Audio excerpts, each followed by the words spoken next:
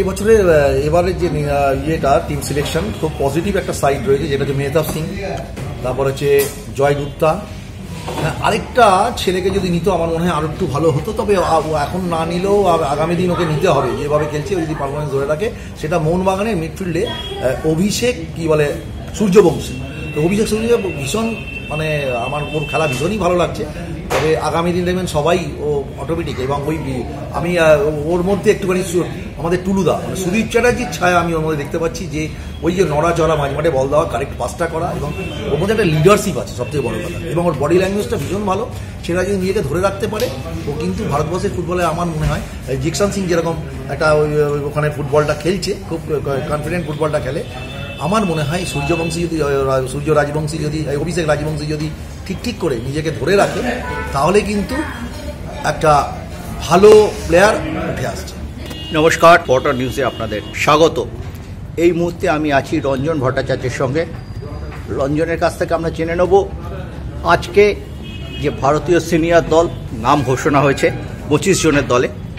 Eager সিমাচ দল নিয়ে উড়ে গেছেন ইতিমধ্যে সৌদি আরবে। কীরকম দল হলো?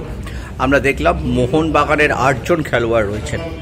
ইস্ট বেঙ্গল থেকে শুধু ইনারে মহেশ এবং মুম্বাই সিটি এফসি থেকে এক ঝাঁক পাঁচজন প্লেয়ার স্থান পেয়েছেন। না টিম নিয়ে যেটা বলার যেটা হচ্ছে এদের মধ্যেই তো ঘোরাফেরা করছে, যা শুধু ইস্ট বেঙ্গলের চুনুঙ্গা বাদ গেছে। এছাড়া তো মোটামুটি ইয়ে থেকে যে ফুটবলটা হচ্ছে সেখানে বাংলা থেকে বহু, বাংলার ক্লাবগুলো থেকে বহু ছেলে, অনেকগুলো ছেলেই চান্স পেয়েছে।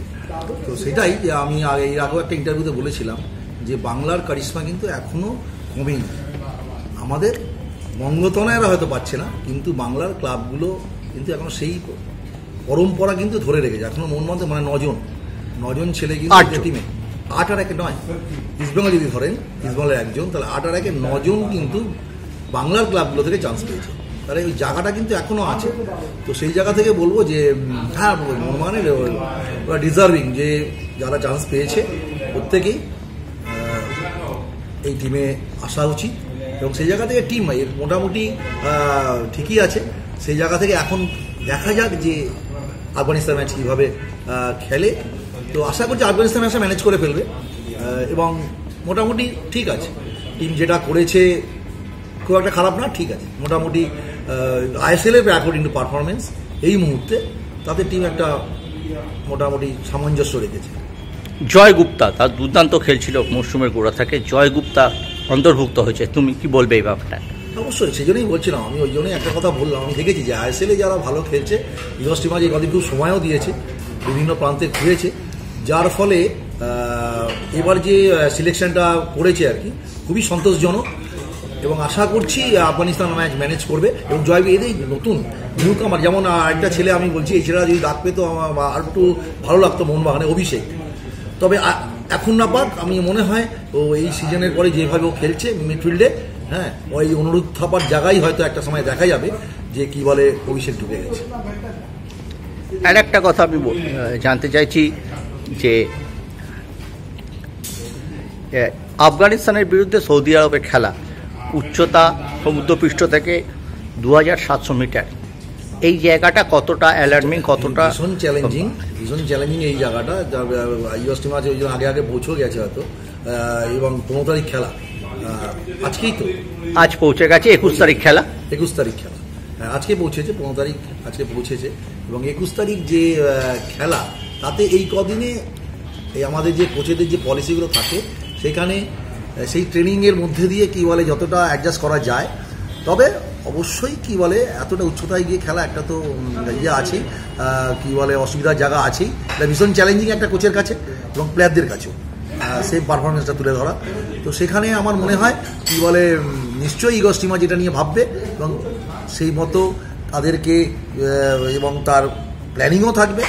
সম্পূর্ণই প্ল্যানিং তো সেই জায়গায় কি বলে, এবং যাদের পঁচিশ জনের স্কোয়াড তো আমার মনে হয় ভালো হবে। এবং ম্যানেজ করবে ওই চ্যালেঞ্জিংটা ম্যানেজ করে ওই কি বলে আফগানিস্তান ম্যাচ থেকে ভালো কিছু করেই ফিরবে। পরপর দুটো আফ- আফগানিস্তান ম্যাচ আছে। এটা তো এও ম্যাচ খেলছে। ইন্ডিয়া আফগানিস্তানে অশান্ত রাজনৈতিক পরিস্থিতির জন্য হচ্ছে না। তার জায়গায় সৌদি আরবে হচ্ছে। আবার ছাব্বিশ তারিখে এই ব্রেকের মধ্যেই খেলা নেহেরু স্টেডিয়াম গুয়াহাটিতে। হ্যাঁ অবশ্যই। একুশ তারিখ তারপর হচ্ছে ছাব্বিশ তারিখ। এই জায়গাটা ভাবতে হবে, একুশ তারিখটা খুব হাই যদি আমাদের ম্যাচ খেলতে হবে। তারপরে এসে আবার সমতলে। তো সেই জায়গায় এগুলো সব চ্যালেঞ্জিং এগুলো করতে গেলে এই খেলাধুলার জায়গাটা এমনই একটা জায়গা আর কি। এখানে এগুলোই বানিয়েই চলতে হবে।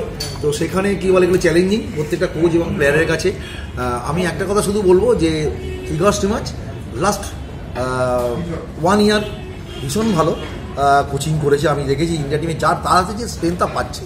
যে স্ট্রেংথ তার হাতে রয়েছে, সেই তুলনায় কিন্তু আমি বলব তার ডিসপ্লে ভেরি ওয়েল আমি, আমি- আমার আমার আমার মতে আমি খুবই দেখেছি, খুব পজিটিভ উনি খেলার চেষ্টা করছি, কিন্তু দেখতে হবে। আমরা, দেখুন, এই যে আপনি যদি তাকিয়ে থাকেন, আমাদের যে সমস্ত বাইরে ক্লাব কাপগুলো খেলতে যায় এফসি ক্লাব কাপগুলো খেলতে যায়, তো এশিয়ান ক্লাব কাপগুলো যখন খেলতে যায়, তখন দেখবেন মার্জিনগুলো দেখবেন ইন্ডিয়া থেকে যে প্লেয়ার মানে আমরা সেখানে সেখানে বিদেশি প্লেয়ার খেলোয়াড়ও থাকে। সেই অবস্থায় দেখবেন তিন গোল চার গোল পাঁচ গোল করে ডিফারেন্স তো অটোমেটিক্যালি আপনি যদি এই জায়গাটা ভাবেন তাহলে উইথ ফরেনার গিয়েও কিন্তু বাইরে অন্য ক্লাবগুলোর কাছে আমরা এইভাবে পরিদস্ত হচ্ছি। তো এখানে তো ফরেনাররা থাকছে না। উড়িষ্যা এফসি সাউথ কোর্ট মেরিনার্সের কাছে অ্যারো ম্যাচে হেরে গেছে। চার গোল খেয়েছে। এবার সেখানে আপনি রেজাল্টগুলো দেখবেন যে গোলের মার্জিনগুলো দেখবেন তাহলেই ক্লিয়ার হয়ে যাবে। তো এই জায়গা থেকে আমি বলছি তো সেখানে আপনার কি বলে ইন্ডিয়া টিমের যে প্লেয়াররা আমাদের ইন্ডিয়ান ছেলেরা যারা যে ইন্ডিয়া টিমে ন্যাশনাল টিমে খেলছে, সেখানে কিন্তু খুব বেশি কিছু এই মুহূর্তে আশা করলে কিন্তু সেই জায়গায় আমরা নেই।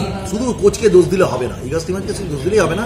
দেখতে হবে যে আমরা যে স্ট্যান্ডার্ডের সাথে খেলতে যাচ্ছি, আমরা ঠিক কতটা।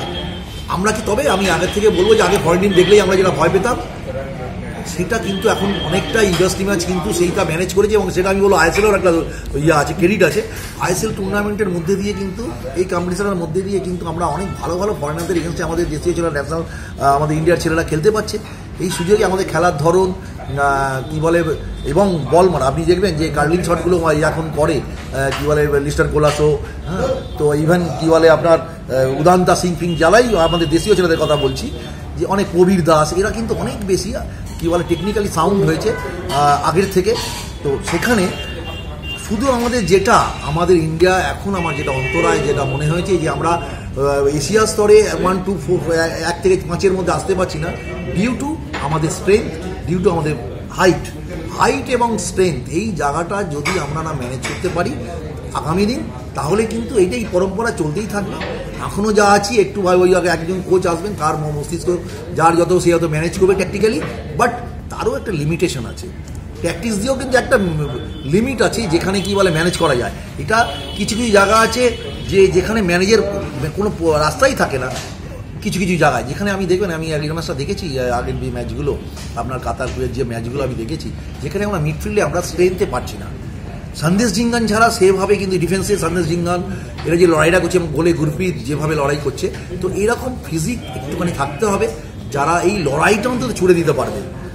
তো সেই জায়গায় কি বলে, আগামী দিন কিন্তু অল ইন্ডিয়া ফুটবল ফেডারেশনের ভাবার সময় এসেছে যে একদম ইউথ থেকে, এই যে ফিফা একাডেমিগুলো হচ্ছে একটা উড়িষ্যায় হয়েছে, আরও এরকম ফিফা একাডেমি কি বলে অল ইন্ডিয়া ফুটবল ফেডারেশন আমি শুনছিলাম একটা কল্যাণ, আমাদের মিস্টার কল্যাণ চৌবের মুখ থেকে একটা তার ইন্টারভিউ শুনছিলাম, যে আরও কিছু একাডেমি সে কী বলে করবে, সেখানেই কিন্তু আমার মনে হয় যে এগুলো একটু মাথায় রাখতে হবে, উচ্চতা এবং স্ট্রেংথ এবং স্ট্রেংথটাকে করে দেওয়া যায়, কিন্তু উচ্চতা হ্যাঁ এই অনুরোধ দাবাকে কি করে আপনি কি বলে একটা ছ ফুট তিন ইঞ্চি মিডফিল্ডারের উপরে হেড করতে বলবেন তো এগুলোই সমস্যা আসছে আর কি।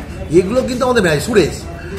সুরেশ আমাদের মিডফিল্ডে অনুরোধ হবে, যদি হাইটগুলো দেখেন, তাহলে কিন্তু এটা আমার যেটা, আমার একদম খুব স্বল্প মস্তিষ্ক, স্বল্প বুদ্ধি দিয়ে আমি বলছি কোচিং যেটুকু করেছি, যেটুকু আমি কোচিং জানি বা করছি, তার দিয়ে বলছি সেই দিক দিয়ে বলছি আমি, যেটা আমাদের কিন্তু যেটা অন্তরায় হয়ে গেছে আমাদের যে এশিয়ান যে কান্ট্রিগুলো আছে, যারা কি বলে ওয়ার্ল্ড কাপে খেলছে, এই কোরিয়া, আপনার কাতার, কুয়েত, ইরান, ইরাক, যাই বলুন যারা পরবর্তী সময় খেলেছে পরপর, চায়না ইভেন চায়না, উঠে এসে খেলেছে এক দুবার। তো সেই জায়গায় কিন্তু তাদের থেকে আমাদের ডিফারেন্স কি, এটা কিন্তু আগে ভাবতে হবে।